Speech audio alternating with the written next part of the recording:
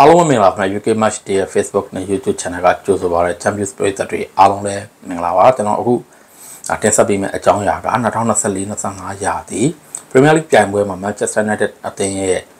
အလားအလာနဲ့ပတ်သက်ပြီးတော့သုံးသပ်တော့မှာဖြစ်ပါတယ်ဆိုတော့ Manchester United အသင်း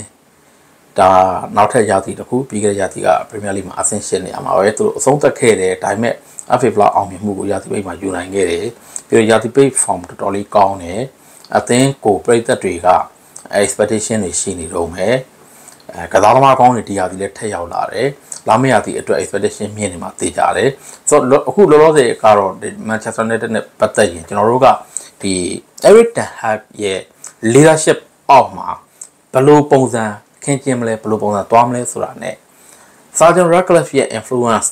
အောက်မှာ Eric Ten Hag ကဘယ်လိုအလုပ်လုပ်မလဲဆိုတာကစိတ်ဝင်စားစရာအကောင်းဆုံးအပိုင်းတစ်ပိုင်းဖြစ်နေတယ်ဆိုတော့ ဘလို့ပဲဖြစ်ဖြစ်ဒီအသင်းဟာဒီမနှစ်တုန်းကတော့စိတ်ပြက်စရာရာသီတစ်ခုဖြစ်ခဲ့တယ်သူတို့ rebuild လုပ်နေတယ်အဲ့လိုလုပ်တဲ့အခါမှာဘာတွေဆက်ဖြစ်လာမလဲဆိုတော့ Manchester United ဖြစ်နေတဲ့အတွက်ဒါကျွန်တော်ပုံမှန်လင်းပြောဟိုင်းပရိသတ်စိတ်ဝင်စားမှုလည်းအရန်များတယ်ကမ္ဘာမှာဟို fan အရန်တောင့်တင်းပြီးတော့ချစ်သူမုန်းသူတော်တော်လေးများတဲ့အသင်းတစ်သင်းဖြစ်တယ်ဆိုတော့ United နဲ့ပတ်သက်ပြီးပြောတဲ့အခါကျရင်အဲ့ချစ်သူမုန်းသူများတယ်ဆိုတော့နေရာမှာဒီအသင်း အတွက်အဲ့မုန်းသူတွေကသူတို့ကိုအများကြီးဆွဲမချနိုင်ဘူးဒါအရှိတရား reality က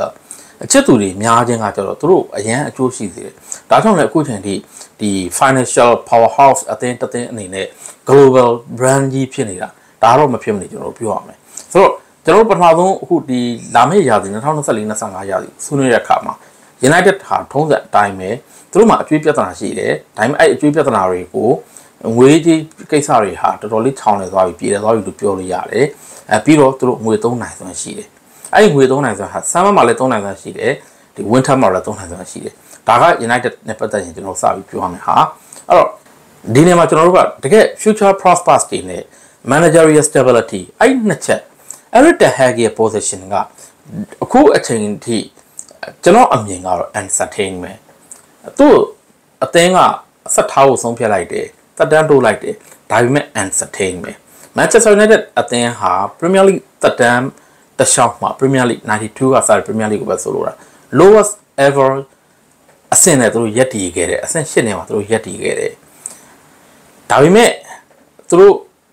ယာဒီပိတ် form ဆော့ဆော့ပြောခဲ့သလိုယာဒီပိတ်ပိတ် form ကောင်းခဲ့တယ် FA Plus ယူခဲ့တယ်ယူရတာလေ ဒီ Manchester City လို့အသင်းမျိုးကိုအနိုင်ယူခဲ့တယ်ဥရောပဝင်ဝင်တနေရာရခဲ့တယ်အဲ့ဒီခါကျတော့ Eric Ten Hag ဟာပြန်ပြီးတော့ဒီပရိသတ်ထောက်ခံမှုတွေပြန်ပြီးတော့ရလာတယ်။ Fajan Ratcliffe ဟာတခြားနည်းပြတွေကိုလိုက်တွေ့တီးတိုက်အောင်နောက်ဆုံးမှာ Ten Hag ကိုသူတို့ back in bay ကိုဆုံးဖြတ်လိုက်တယ်။ Fajan Ratcliffe ကလက်ရှိအချိန်မှာ Manchester နဲ့အသင်းရဲ့ဒီပူးတွဲပိုင်ရှင်ပူးတွဲပိုင်ရှင်လို့ပြောလို့တော့မရဘူးပေါ့နော်။သူက minority ပဲရှိသေးတယ်။ဒါပေမဲ့ထားပါတော့ head of football operations လို့ပြောရမယ်။အသင်းရဲ့ဘောလုံးကိစ္စရေးရာတွေက Glazer မိသားစုနဲ့မဆိုင်တော့ဘူး။သူ့စိတ်ကသူချေလဲမယ်။သူချေလဲတဲ့အခါမှာ Eric Ten Hag နဲ့ပတ်သက်ပြီးတော့သူပြောတဲ့တခုပေါ့နော်။ကျွန်တော်အဲ့ဒီဟာအများနဲ့ဟိုပြန်ပြန်လဲပြောပြတယ်ဘာလဲဆိုတော့ဒီ Ten Hag နဲ့ပတ်သက်ပြီးတော့သူကမကြိုက်တာမဟုတ်ဘူး။ Ten Hag ကိုအလုံးမလုပ်ဘူးလို့လဲသူကယူဆလို့ဒီအသင်းမှာမထားချင်တာမဟုတ်ဘူး။ Ten Hag ဟာဒီတကန့်ချင်းတကန့်ချင်းတကန့်ချင်းအဲ့အကန့်နေအကုန်လုံးမှာလိုက်ပါနေတယ် ကိုအလုပ်အပေါ်မှာကိုအာယုံစူးစိုက်မှုမထားနိုင်ပါဘူးသူစိုးရိမ်တယ်ဒါကြောင့်သူကဒီ Ten Hag နဲ့အနာဂတ်ကိုစဉ်းစားတဲ့အခါမှာတဟက်တင်မကဘဲနဲ့တခြားနီးပြတွေကိုပါစဉ်းစားပြီးတော့စကားပြောကြည့်တာနောက်ဆုံးမှာတော့သူတို့ကဒီတဟက်နဲ့ပတ်သက်ပြီးတော့တဟက်ဟာအောက်ခြေကနေအပေါ်အထိအကုန်လုံးလိုက်ပြီးတော့ပြုပြင်ပြောင်းလဲခြင်းနေတယ်ကျွန်တော်တို့အဲ့ဒါကိုခွင့်ပြုလို့မရဘူးကျွန်တော်တို့သူတို့လောက်ရမယ်အကန့်သူတို့ရှိတယ်အဲ့လူတွေအတွက်လည်းတကယ်လဲဒီ Sergeant Ratcliffe ကအဲ့တကန့်ချင်းစီအတွက် တဟက်လက်ကြည့်စရာမလိုတော်တဲ့အနေထားဖြစ်သွားအောင်လို့ဒီကျွန်တော်တို့ United ရဲ့လက်ရှိ football operations ဘိုင်းဟာဥရောပမှာဟိုအတောင့်တင်းဆုံးလို့ပြောလို့ရတယ် Manchester City မှာ Soriano Belgrade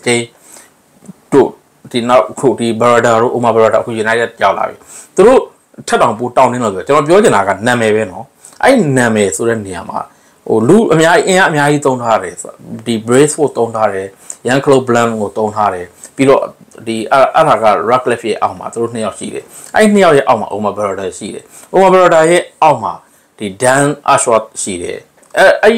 Jason Wilcox ရှိတယ်အဲ့ဒီအောက်မှာမှာ Eric Tehak rank ကိုထားတယ် Tehak ကစပြီးတော့အဲ့နောက်ပိုင်းတွေကကျတော့အသင်းနဲ့ကွင်းနဲ့ကွင်းနဲ့ကွင်းတွင်းခြေစွမ်းနဲ့တိုက်ရိုက်သက်ဆိုင်တယ်ဆိုအဲ့အပေါ်ပိုင်းတွေကသူတို့သူတို့ကကွင်းပြင်ပါနဲ့ပတ်သက်တဲ့ကိစ္စတွေ transfer နဲ့ပတ်သက်တဲ့ကိစ္စတွေ market နဲ့ပတ်သက်တာ ဒီစီးပွားရေးနဲ့ပတ်သက်တာဒါတွေအတွက်ကအဲ့တဟက်တဘာမှဆိုင်တော့တဟက်ကကွင်းထဲမှာကစားဖို့ကောင်းဖို့ရလဒ်တွေကောင်းဖို့ပဲအဓိကလောက်ရတော့မှာဆိုတော့ဒီနေရာမှာ Eric Ten Hag အနေနဲ့သူ့ရဲ့ philosophy ကိုသူထုတ်ပြလို့ရပြီတခြားပြဿနာတွေကိုသူဘာမှခေါင်းဝင်ခဲနေကြမလို့ဆိုတဲ့အနေထားရောက်လာပြီဆိုတော့ uncertain ဆိုတာကအဲ့ဒါကိုပြောတာ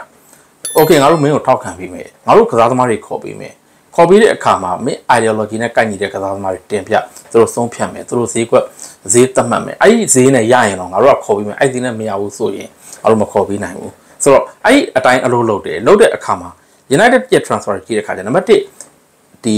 impact ဖြစ်တာကိုကျွန်တော်တို့တွေ့ရတယ်ပြီးတော့ဒီကိုယ့်ရဲ့ target area ကိုစူးစူးဆိုင်ဆိုင်စူးစူးဆိုင်ဆိုင် pressure ပေးနိုင်တာကိုကျွန်တော်တို့တွေ့ရတယ်ပြီးတော့ကစားသမားတွေကအသက်ငယ်တယ်ပြီးတော့တကယ်လဲသူတို့ခေါ်ကြတဲ့ကစားသမားတွေ ဟာနာမည်ထွက်တယ်ဈေးညှိတယ်ရလာတယ်ဈေးကလိုအပ်တာထပ်ပိုပြီးဖောင်းပွားမနေဘူးဆိုတဲ့ဟာမျိုးတွေကိုကျွန်တော်တို့တွေ့ရတယ်ဆိုတော့ကျွန်တော်တို့ဟိုဇက်ဇီးကိုရတဲ့ဈေးမျိုးပေါ့နော်ပေါင်36တန်းကျော်ဒီအသက်အရွယ်ဒီ charter လေးတယောက်ခြေစွမ်းလဲပြနေတယ်ယူရို42တန်းလောက်နဲ့သူတို့ရလိုက်တယ်ဆိုတော့ဆိုတော့ဒါမျိုးတွေကျွန်တော်တို့အခု Dallas ဆိုလဲသူ့ဟာနဲ့သူဟိုဒီအသက်အရွယ်နဲ့ သူတို့ဈေးပို့ပေးလိုက်ရတယ်လို့ပြောလို့မရဘူး Marzari ဈေးပို့ပေးလိုက်ရတယ်လို့ပြောလို့မရဘူးဆိုတော့ United ရဲ့ဒီဒီ transfer ခြေလမ်းတွေကတော်တော်လေးကောင်းလာတယ်ပြီးတော့အသင်းရဲ့ squad depth ကလည်းတော်တော်လေးကောင်းလာတယ်ဆိုတော့အဲ့တော့ကျွန်တော်တို့ဘာလို့သွားချီးကျူးရလဲဆိုတော့ strategic ပိုင်းပေါ့ consideration ပိုင်းမှာကျွန်တော်တို့ကဒီမဟာဗျူဟာမြောက်ကိုစဉ်းစားတဲ့အခါမှာ off field dynamics ကတော်တော်လေးအားကောင်းလာတော့တွေ့ရတယ် management ပိုင်း ownership တွေရဲ့ dynamics ပိုင်းပြီးတော့ Ten Hag နဲ့ ဒီ football operation အပိုင်းပေါ့နော်ဒီ Ineos led ဒီ football operation ပိုင်းနဲ့ကြားတဲ့ကအချိတ်ဆက်တွေပို့ပြီးတော့အားကောင်းလာတယ်လို့ကျွန်တော်မြင်ရတယ်အဲဒါပေမဲ့အဲ့ဒီအားကောင်းခြင်းက Ten Hag အတွက်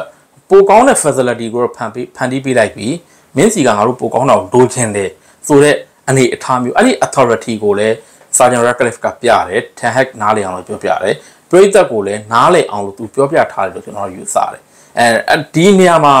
ဒီ Eric Ten Hag အတွက်ကအလုပ်လုပ်လို့ပိုကောင်းသွားမယ်စိန်ခေါ်မှုလည်းပိုကြီးသွားမယ်သူသူ့ရဲ့အနာဂတ်အတွက်ဆိုတော့ဒါမျိုးတွေတွေ့ရတယ်ဆိုတော့အသင်းမှာတော့အားလုံးသိတဲ့အတိုင်းပဲရှေ့မှာလည်းကျွန်တော်ပြောတယ် Bruno Fernandes ကဘာလဲဆိုတော့ Manchester United အသင်းရဲ့ဟို key players တွေအများကြီးရှိလာမယ်ဆိုရင်တော့မှနံပါတ်1 key player က Bruno Fernandes ပဲတကယ် central figure အနေနဲ့ United အသင်းရဲ့ဒီ playing style style of play မှာတကယ် central figure အနေနဲ့သူရှိမယ်သူသူကပဲ game ကို game ရဲ့ face တွေကိုသူကလွှမ်းမိုးမယ်သူကဥဆောင်မယ်အဲသူအနာဂတ်မေးမရသတင်းတွေထွက်ခဲ့တယ်ဆိုပေမဲ့လည်းအခုစာချုပ်တဒန်းတိုးဖို့လဲ United ကလုံနေတယ်တိုးလဲတိုးဖြစ်မယ်လို့ယူဆရတယ်အသက်30မပြည့်ခင်မှာ30ပြည့်ဖို့လဲလာပါမယ်လို့ပြောတယ်အဲ့မပြည့်ခင်မှာဒီအဲ United နဲ့ Bruno Fernandes နဲ့တဒန်းတိုးနိုင်မယ်လို့ယူဆရတယ်ပြီးတော့ attacking depth ကပိုပြီးအားကောင်းလာတယ်အခုဆိုရင်ညာချမ်းကအားပြည့်အင်ပြည့်မဟုတ်သေးသည့်တိုင်အောင်ဒီညာချမ်းမှာကျွန်တော်တို့ Ahmed Diallo သုံးလို့ရလာပြီ Garnacho သုံးလို့ရပြီ ပြီး Anthony ရှိတယ်သုံးလို့ရတယ်ဆိုတော့အဲ့ဘယ်ချမ်းကိုလာပြီးတော့ Garnacho ထွက်ကစားလို့ရတယ် Marcus Rashford ရှိတယ်ပြီးတော့ Zack Z ဟာနေရာဆုံးမှာသူကစားနိုင်တယ်ဆိုတဲ့ပုံစံမျိုး attacking depth ကတော်တော်ကောင်းလာပြီ Rasmus Hojlund ကလည်းအားကိုးရတဲ့ကစားသမားမျိုးအသက်အရွယ်အားဖြင့်ဆိုလို့လူငယ်တွေ Hojlund လူငယ် Zack Z လူငယ် Anthony ကတော့နည်းနည်းလေးကြည့်တယ်ဒါပေမဲ့လူငယ်ပဲပြီးတော့ Ahmed Diallo လူငယ်ဆိုတာမျိုးတွေကျွန်တော်တို့မြင်လာရတယ်ဆိုတော့ Rashford ကိုယ်တိုင်လည်းအရင်ကြည့်သိတာပေါ့နောက် Garnacho လူငယ်ဆိုတော့အခါကျတော့ attacking line ကဟိုအင်အားလည်းတောင့်တယ်အသက်လည်းငယ်တယ်ဒါပေမဲ့တခုရှိတာကဘာလဲဆိုတော့ကျွန်တော်အဲ့အပိုင်းကတော့မေ့ထားလို့မရတာက Bruno Fernandes က number 10 row မှာထိုင်လိုက်ပြီသူ့အရှိမသူ့ဘယ်ဘက်မှာသူ့ညာဘက်မှာအဲ့ဒီနေရာတွေကအားကောင်းကြတယ်အရေးအသွေးလည်းမျှကြတယ်ဒါပေမဲ့ elite အလှော်ကိုရောက်မနေကြဘူးဆိုတော့ကျွန်တော်တို့တွေ့ရတယ်ဆိုတော့အဲ့ဒီအဲ့ဒီအချက်ပေါ့နော်အဲ့ဒါလေးကကျွန်တော်တို့သတိပြုစရာအချက်ဖြစ်တယ်ဆိုတော့နောက်ဆုံးကျတော့ဘာလဲဆိုတော့ Liverpool ဒီ Liverpool တို့ Manchester City တို့ Arsenal တို့ထက်စာရင် United ကနည်းနည်းလေးတော့မိမ့်မိန်နေတော့မယ်ဒါပေမဲ့ဒီ Chelsea တို့ Tottenham Hotspur Aston Villa Newcastle တို့ထက်ဆိုင်ပို့ပြီးတော့ဟိုအားကောင်းနေတယ်ဆိုတဲ့အနေထားကိုမြင်ရတယ်ဆိုတော့ဒီယာဒီမှာသူတို့ဟာမပေးချင်မြန်စုကိုစိန်ခေါ်နိုင်မဲ့အသင်းလို့ကျွန်တော်မမြင်ဘူးဒါပေမဲ့ top 4 race ထဲမှာကောင်းကောင်းရှင်ပြိုင်နိုင်စွမ်းရင်ဆိုင်နိုင်စွမ်းရှိတဲ့အသင်းတစ်သင်းအဖြစ်တော့မြင်တယ်တကယ်လို့မရောက်ခဲ့ဘူးဆိုရင် failure ဖြစ်တဲ့ယာဒီရောက်ခဲ့တယ်ဆိုရင် top 4ရဲ့ကိုဝင်နေဆိုရင် Eric Ten Hag က Manchester နဲ့အနာဂတ်ဆက်ရှိမယ်။ club အသင်းပရိသတ်တွေလည်းကျင်းနေတင်တယ်။အဲ့လိုနဲ့နောက်ထပ်တစ်နှစ်နောက်ထပ်တစ်နှစ်ဆိုရင်သူတို့ပို့ပြီးတော့အားကောင်းလာပြီးတော့ဒီအမပေး flower တွေကိုအဆင့်ခွန်နိုင်တဲ့အဆင့်ကိုရောက်လာလိမ့်မယ်လို့ကျွန်တော်တို့ယူဆတယ်ပေါ့နော်။ဆိုတော့ဒီနှစ်ကတော့ United အတွက်တကယ် main object ဟာအဆင့်1 2 3 4ဖြစ်ဖို့အဲ့ဒါအရေးအကြီးဆုံးပဲပြီးတော့ super တလုံးလုံးပေါ့နော် ဒီရ Europa League ပဲဖြစ်ဖြစ် Carabao ပဲဖြစ်ဖြစ်အဖြစ်ဖြစ်ဖြစ်ဆိုတော့ဒါဆိုသူတို့အောင်မြင်တဲ့ရာသီတစ်ခုဖြစ်လာလိမ့်မယ်အဆင့်9 6ခွန်ဆိုရင်တော့ United လက်ရှိသွားနေတဲ့ပုံစံဒီအသင်းကရဲ့လက်ရှိဒီ squad depth နဲ့ဆိုရင် Eric De Hag အနေနဲ့မအောင်မြင်တဲ့ရာသီလိုပဲမနေ့ကတည်းကဆိုင်ရင်သူပို့ပြီးတော့လုတ်ပြတင်ပြီလို့ပြောရမယ်ဆိုတော့ဒါတော့ Manchester United အသင်းရဲ့အနေအထားနဲ့ပတ်သက်ပြီးတော့သုံးသပ်ခဲ့တာဖြစ်ပါတယ်ကြည့်ရှုအားပေးကြတဲ့ UK Match Day ပရိသတ်တအုပ်ချင်းစီကိုကျေးဇူးတင်ကြောင်းပြောကြားရင်းနဲ့အဆုံးသတ်ပါရခင်ဗျာ